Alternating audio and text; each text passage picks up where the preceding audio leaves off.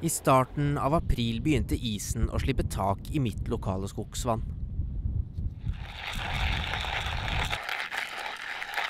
Varmen tok mer og mer tak, og etter hvert ble det ganske så behagelig å speide etter vak.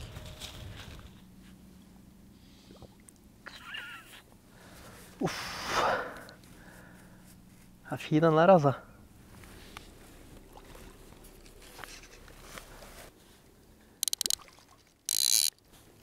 Da. Nå har jeg prøvd med en eh, palmermygg. Mulig den er for svær, den ble i hvert fall avvist. Men de tar ganske brutalt. Så da tenker jeg å gjøre noe som funker ganske bra på våren. Og det er ikke noe fancy.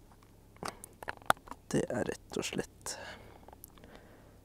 Rett og slett å sette på en passe stor maur.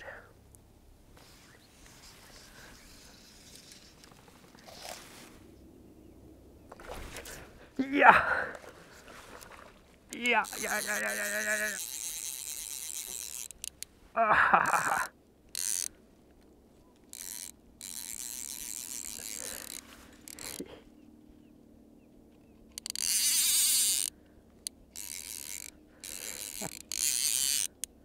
Det funker som rakkeren, vet du.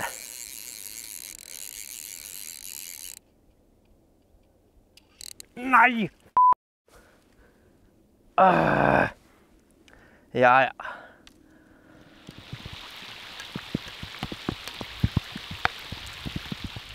Men ingenting varer evig. Nordavind og isende regnvær slo tilbake. Det ble slutt på vakingen, selv om det til tider klekket store mengder fjærmygg. Det ligger fjærmygg langs land bortover hele her, og det er, det er så mange av dem. Men det er ikke en eneste fisk å se. Ikke ett vak. Så helt merkelig.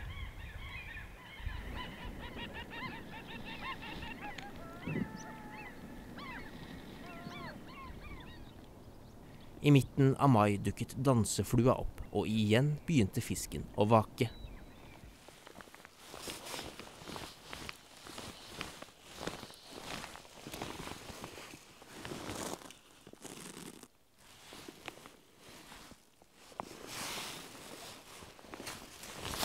Ja!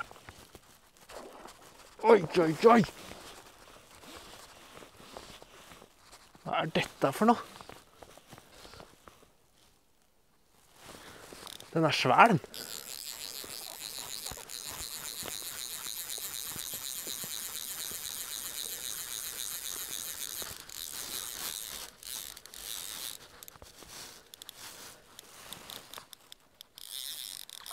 Å, fy faen.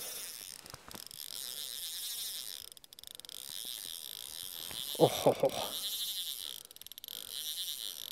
Ai, ai.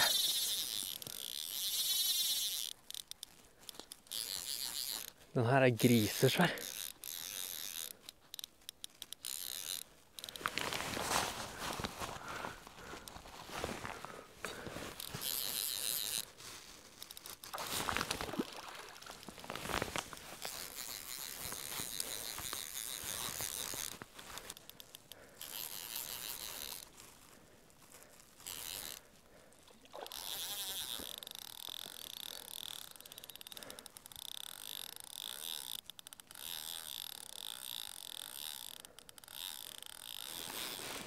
Ah.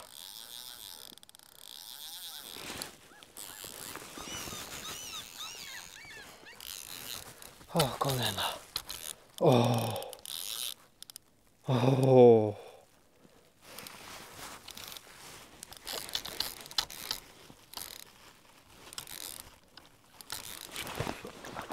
Å, fy faen.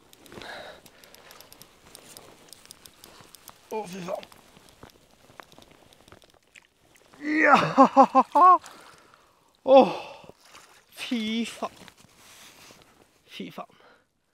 Er det mulig? Det er det sjukeste jeg har vært med på. For en fisk. Ørret på 1,5 kilo. For en fisk. 1,5 kilo, altså. Det er den planken.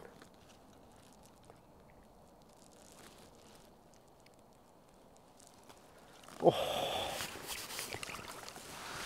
Yes! Endelig. Åh, den sesongstarten her har vært så trå. Det har lugga, lugga, lugga. Og så endelig løsna det. Og for en fisk, da.